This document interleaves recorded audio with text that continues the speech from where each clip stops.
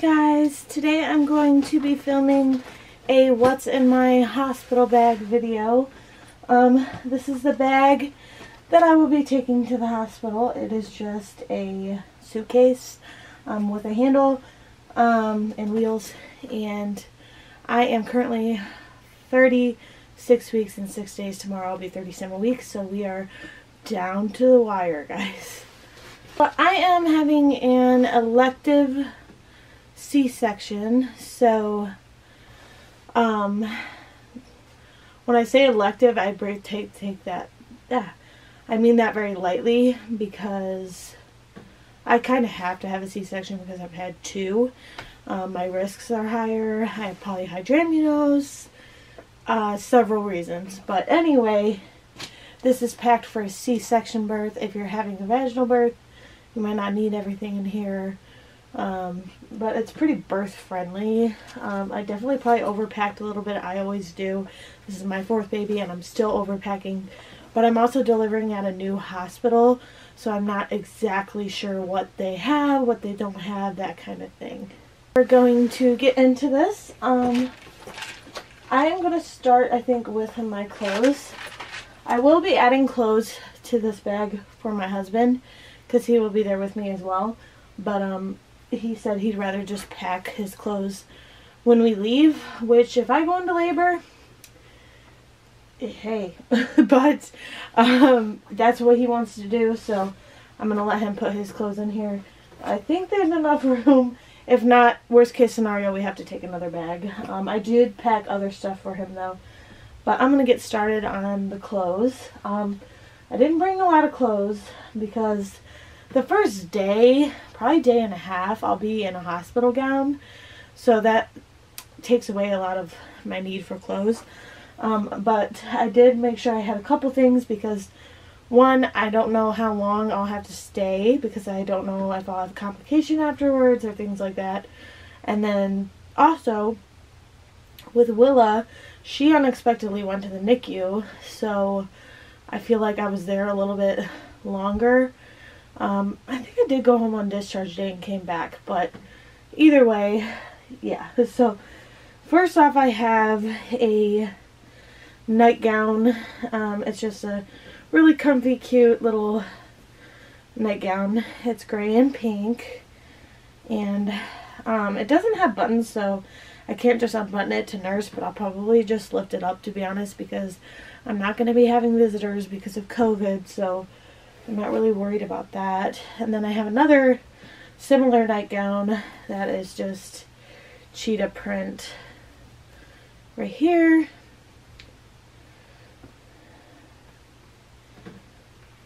I hate pulling everything out for these videos to be honest because everything's packed so great but that's okay. Excuse me, I have a cough. I had, I think I had COVID a few weeks ago and I can't get rid of the cough. I was like presumptive COVID because at the time you couldn't find any tests, so. And then I have a nursing bra. I'll wear a nursing bra there as well, but I want to have an extra one in the bag. And then I have a couple pairs of my own underwear just to have. Um, they're they're old underwear, but um, I do use the hospital underwear, but I like to have a couple pairs because um, when I go home, I usually put my own on, and then I don't know, I just have an extra pair in there. And then I have this robe that I got for Christmas from Rex actually. And funny thing is, it doesn't fit me right now, but my belly is humongous because I have polyhydramnios again. And so um, I'm pretty sure after the baby's born, this will fit better, but um, it's just a pink um, robe. I'll probably wear this a lot too, to be honest with you, because um, I can just open it up, feed baby, and be on my merry way. And then I have two pairs of socks. I have these ones that have grippies on the bottom so I can wear my own socks um, while I'm at the hospital. And then I have just a plain pair for home. Oh, and I have another pair. I didn't realize I had three pairs in there. I don't need this pair. So that can go back in my dresser. And then for home, I have a, a pair of maternity leggings. This is a shirt. It's a good thing I did this video. Um, that's a shirt. So actually I have to put a pair of maternity leggings in here. I thought these were my leggings. It's like similar material it's a black shirt. So I need to throw a pair of maternity leggings for home in there. And then I have the shirts I'm going to wear. I just have a tank top. It says I can't adult today, which is going to be quite the case with having a C-section. Um, and then just a long sleeved uh, maternity shirt. I just like wearing maternity clothes when they're comfortable. I don't have to worry about it being on my incision. So, yeah, I'm glad I realized that I need to put a pair of pants in here. that would have been fun. I would have had no pants to wear home other than the pants that I wore to the hospital. And then that's it for my clothes. Like I said, I tried not to overpack too much on the clothes. Um, so then I have this, which I actually purchased for the hospital.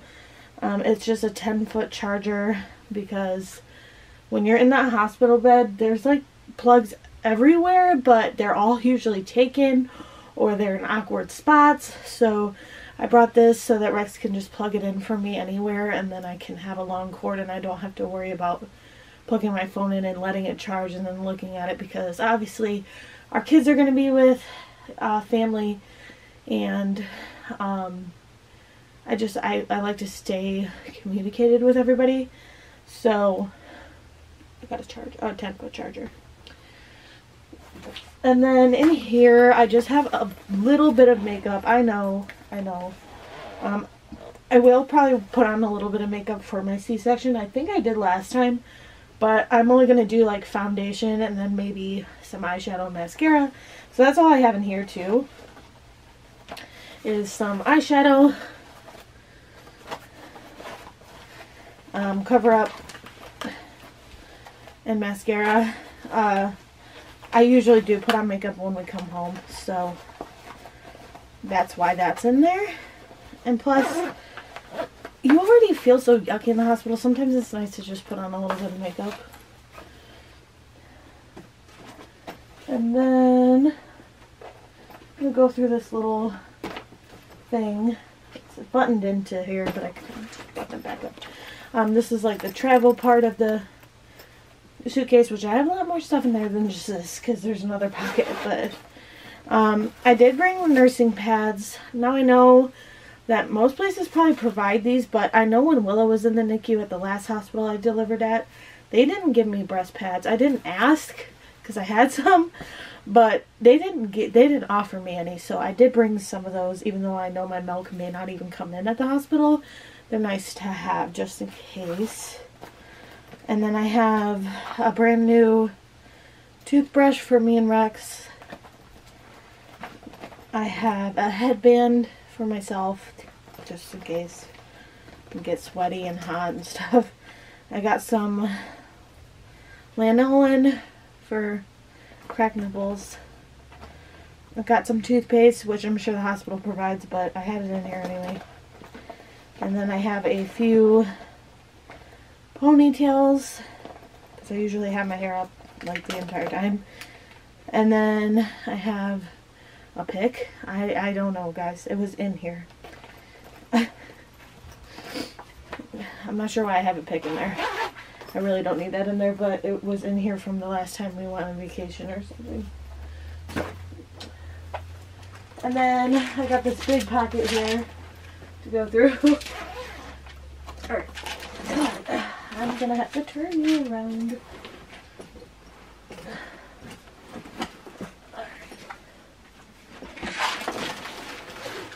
Okay, so in here, I have a lot more goodies in here. I have a brush. I just put a brush in there and then I got a new one for Christmas because I can't stand when I go somewhere and forget a brush. I do it all the time. And the hospital is not the place to be doing that.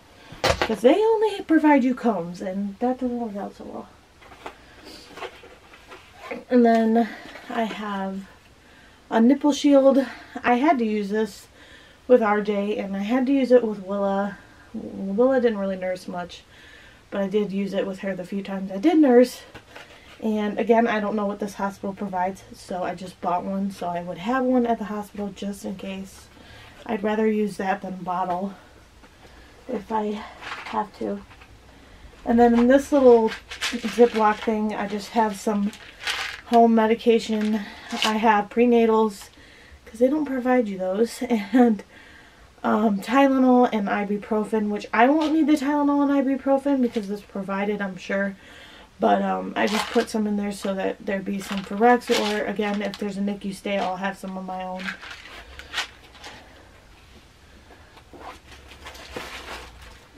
And then I'm also bringing my own pump because I'm pretty sure with having a NICU they have hospital grade pumps, but they're usually Medela. And for some reason, I don't know why, I never respond well to the Medela, like ever. So I did bring my own pump so that I know that if baby's separated, if baby needs to supplement, I'm going to be able to get something out. Because um, with Willa, that was a big problem. I didn't bring my own pump, and they only had the Medela, and I was barely getting any colostrum out. So um, I ended up bringing my own pump, this pump actually, to the NICU after I went home and came back. Um, but this is just a Motif Duo. I have a bigger pump. I have, um, sorry, my camera, the memory got full. But I have a bigger pump that I'm going to use at home. But if you're looking for a travel size pump, I highly recommend the Motif Duo. This pump has done me so good. I exclusively pumped with it with Willa. So this is a great, great pump. I really have been very happy with this pump.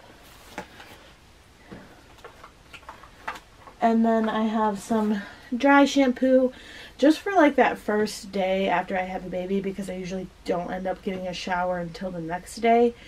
Um, yeah, I probably won't end up getting a shower till the next day. So I have some dry shampoo. I have a bar soap for Rex because he's kind of picky about soap. And um, they have bar soap, it's not the greatest. So I did bring him his own bar soap. I brought some deodorant. You definitely need that after having a baby, trust me. I brought some um, just lotion. The baby's got lotion in his bag too, but I wanted some for myself. It's just, and it's very plain lotion, just in case for some reason he's um, sensitive to stuff, because I have more lotion in there, but it's scented. It's my preferred lotion that I use, but this is the charger for my pump. It just charges and you can take it off the charger, but... And then the last thing is all this travel stuff. I'm sure the hospital has shampoo, and I'm sure they probably have body wash, but their stuff is just never the greatest. So in here I have my shampoo and my conditioner and then my body wash. And I also have my lotion which is Victoria's Secret lotion. I really like this. It smells great. But again if Benjamin is sensitive I will have to use this. So I have that too. And then this is Rex's uh, uh, shampoo.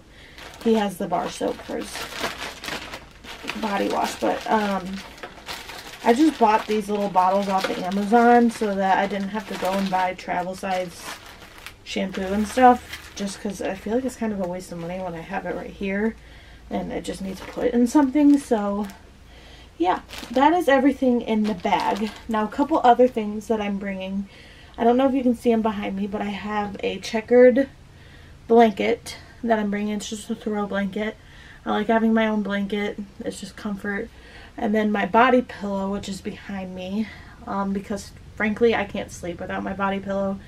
And they don't provide you a lot of pillows usually.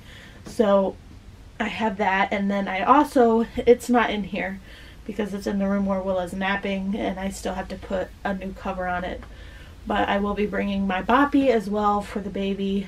Um, just in general, it's nice to have a boppy if you're going to nurse, or even if you're not going to nurse. But when you have a C-section, it's almost necessary, in my opinion, because having the baby against you and you fully supporting the baby while you're breastfeeding can really, really hurt at first after a C-section. So I will be bringing that as well. So that is everything. I'm going to put everything back in here and reorganize. Um, but I hope you guys enjoyed this. If you think I missed anything or you have any suggestions, please let me know. Um, I think I did pretty good. I didn't pack pads because the hospital's going to provide pads. They're going to provide the mesh underwear, which with Willa I brought Depends, but I bought the wrong size and they literally didn't fit. so I didn't even bother this time. I'm just going to wear the mesh panties and then my own underwear. Um, but they provide pads. I'm not picky when it comes to that kind of stuff. So yeah, that is everything. I'm out of breath. Again, I'm pretty much 37 weeks pregnant and I can't breathe ever. And I have a stuffy nose right now because my sinuses are bothering me. But anyway, this is just the baby stuff. Um, if you hear little voices, the kids are in the next room playing. But anyway, I wanted to show you what I have for him in here. Almost everything in here is just for the hospital, but there are a few things in here that I just want to have in my diaper bag. So I'm probably not going to use it at the hospital, but it's in here for everyday basis. I'm definitely going to have to add some things to it after the hospital. But yeah, so I have this diaper bag. It's KeaBabies. It's um, Amazon's brand, I think, kind of. And then um, this isn't brand new. I use this a lot for Willa. I think I got it back in like I don't even know really. I think I got it back in like March, um, but it's held up really well. So I bumped her up into a um, like a backpack bag and put Benjamin's stuff in here. Okay, I have it kind of opened up here so I can just pull out things and show you. Um, first I have a blanket for him for the hospital. Um, it's just got uh, little animals on it and it's teal and white and gray and it's really cute. So I have that just to have a nice comfy blanket. And then I have a swaddle, just a thin um, little swaddle. The hospital does provide like the receiving blankets, but the last I heard my hospital no longer has swaddles unless things have changed. So um, I want to make sure I have like real swaddles. So there's that one. And then I have a thicker one right here. And then we have some little baby socks. I just brought two pairs because I don't think he's going to use more than that at the hospital. So two little baby socks. And then I have this in here. Um, hopefully we'll remember to do this while we're there. But if not, we'll just do it when we get home. But I wanted to definitely bring it. Um, it's just an ink pad for his foot because I don't know about this hospital. But every hospital that I've had my kids at so far, they don't do the footprints anymore on their own. So, um, yeah, I got this on Amazon. Let's see. Sorry if you hear me heavy breathing. I'm 36 weeks pregnant and I am out of breath. And then I also put his little board in here to fill out um, all his stats and stuff. It's really cute. So I have that. And then I have two little bear hats. Well, this one's not a bear, I guess. But I have two little hats. Again, if you're a first time parent, you really don't need all this stuff. I just overpack and I love to dress my babies up right away. So, yeah. and then I have one newborn sleeper, two newborn sleepers, uh, a newborn onesie, and then this is a potential coming home outfit right here. It says, hi, I'm new here. So why I say potential is because baby boy is measuring really large. He's already eight and a half pounds roughly, and I'm only 36 weeks. So we could be potentially looking at a 10 pound baby. So those are newborn clothes. And then I also packed some three month clothes because I really don't know how big he's going to be and what he's going to fit in. So that is why I overpacked on clothes. Um, he's got a three month onesie, two three month sleepers, and then a three month coming home outfit. I'm not going to unfold all the clothes and show you just because that would take way too much time because I packed so many clothes. Um, if he hadn't had this like weird weight issue, I wouldn't have needed to pack all that. But um, down here too, I just have some receiving blankets. Again, not necessarily for the hospital, just to have in here. And then we have some diapers in here. The hospital provides diapers, but I like to have some already in the diaper bag. And then the same thing with the wipes. And then in here, I have just some coconut balm, which could be used for the baby at the hospital or for cracked nipples. So I have that. And then I have some baby Cetaphil wash and shampoo.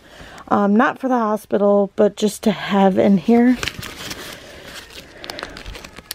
Oh boy, hold on. Here it is. Um, I have a pack of pacifiers for him to try. These are just the NUK brand. I'm hoping he'll take this. If not, the hospital has pacifiers too. So there's that. And I believe that is it um, in his diaper bag. So I got to put everything back. But I just wanted to show you guys. Goodness, my kids. I just wanted to show you guys that. Um, I, I think this diaper bag was around $30. It's probably still on Amazon. Um, but it's got two pockets on the sides for bottles. And then it's got this storage space for bottles. It's a little torn because I've used it so long. But so it's got that spot for bottles. And then it's also got one thing I really like is this zipper. It goes straight to the bottom of the bag. So instead of searching, searching for something, you can just unzip this and grab it out. Hope you guys enjoyed this. And please subscribe and hit that like button. And we will talk to you next time. Bye.